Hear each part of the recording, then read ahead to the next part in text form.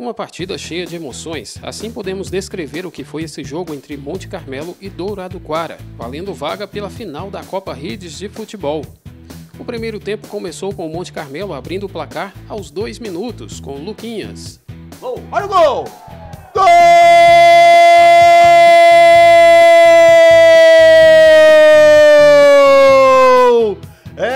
É, é de Monte Carmelo! Dourado Quara empatou no final do primeiro tempo com Jean. Partiu Jean, perna direita. E o gol! Gol!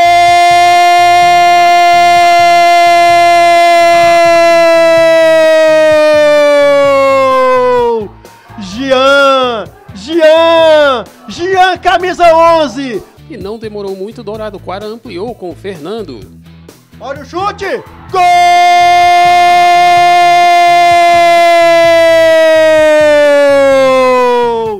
Também nos acréscimos, Monte Carmelo empatou a partida com Cleitinho. Olha o lance, Monte Carmelo. Cleitinho bateu. Gol!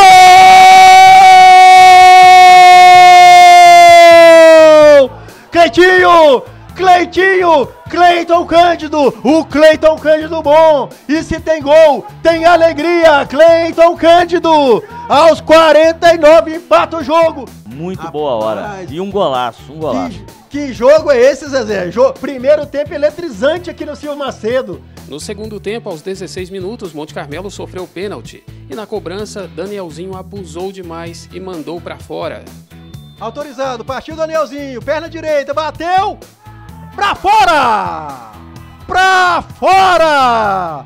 Danielzinho bateu, o Bruno foi no canto certo, a bola passou à direita do gol do Bruno e foi pra fora, Zezé! Após a cobrança, um desentendimento ali na área gerou uma grande confusão e o jogo abriu espaço para pancadaria. Agora confusão.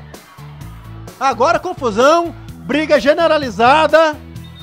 Agora a briga generalizada.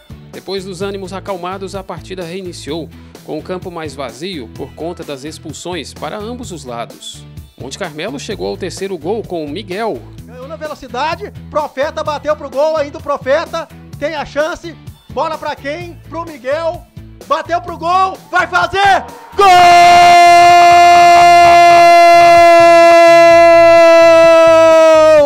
Profeta, perdão, Miguel, Miguel, Miguel, Miguel, esse tem gol, Master Júnior, tem alegria, e o Miguel, camisa 30, faz a alegria de Monte Carmelo, num chute mascado, Gegé, a bola entrou de mansinho, veja o replay, a bola entrou de mansinho, Miguel, camisa 30, Monte Carmelo 3, Dourado Quara 2. É, o time ainda soube se postar dentro de campo e buscar o resultado. Tava com a vantagem, mas não se acomodou com essa vantagem e foi em busca do gol, né? Coroou um trabalho que a gente fez desde o começo, tá invicto ainda. Agora suprir a falta do Guto, do Daniel na final e, consequentemente, trazer o título para o Monte Carmelo. entrou de certa maneira é, nervoso, né? Tomamos o primeiro gol, depois buscamos o empate, a virada e eles empataram. Aquela situação que aconteceu lá no campo, aquela confusão, fugiu do, né, do controle de todos nós. Não é isso que a gente quer, né? O esporte né, ele não é isso, confusão não é problema. A gente traz isso aí é para poder é, é, é, tá junto, né? A gente, a gente compartilhar a amizade, é isso aí que é interessante. Aqui lá não foi muito bom. Mas em relação ao jogo, tá de parabéns a equipe de Monte Carmelo, uma equipe muito coesa, uma equipe tá de parabéns mesmo. Fez, fez por merecer estar na final. Nós jogamos três vezes contra. Duas vezes, três hoje.